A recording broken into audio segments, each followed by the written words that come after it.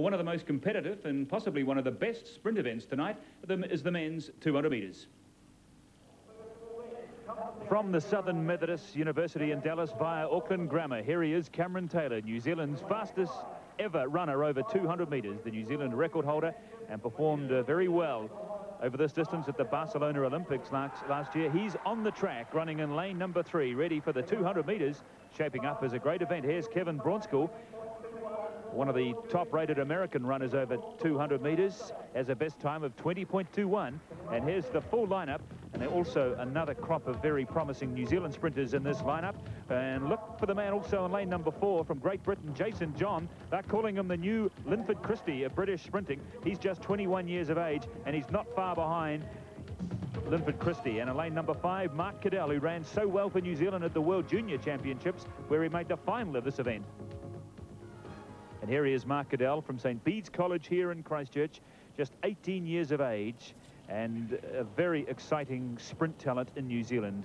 And he will run in lane number five, and alongside of him is Jason John, 21-year-old, who also ran in Barcelona in one of the preliminary rounds of the 4 by 100 metre relay team for the Great Britain side that went on to finish in fourth place. Deep in concentration, making his first appearance in New Zealand. Boy, this is a good lineup, John Davies. It's one of the finest uh, sprint fields we had over 200 metres with Braunskil in there. Cameron Taylor, watch him in lane three. And, of course, a big cheer came here for Mark Keddell in lane five, the last man going down, a finalist at World Junior Championships, the only man in New Zealand's history of track and field to make a final in sprinting. This should be a very moving event. Four speed merchants in the middle of the track there. Taylor in three, John in four, Keddell in five, and Braunskil, the American, in lane six. Slight headwind up the home straight. Sit. Away first time in the men's 200 metres, and who got away best? I think it might be Jason John, the Englishman in the middle of the track. Cameron Taylor, he's got some work to do. Perhaps he's just gone out conservatively. Off the track they come, and it's Jason John being chased down the straight by Keddell and Braunskil. Braunskil, look at this from Keddell, the local boy. Big finish from Kevin Braunskil. John, oh, pick that one, John Davies.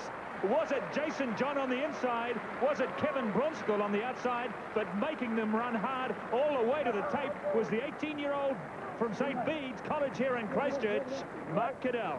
What a fantastic race that was. And Cameron Taylor, perhaps it's a bit early in the season for him.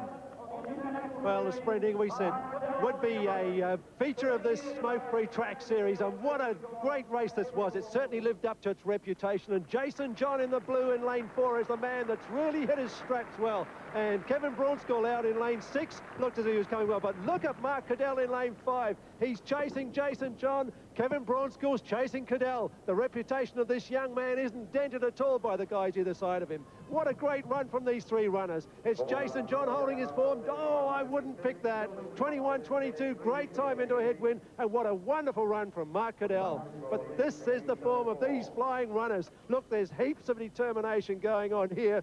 And this exciting young runner, just 18 years of age, Mark Keddell, coming down to take third against two of the world's best 200-metre runners.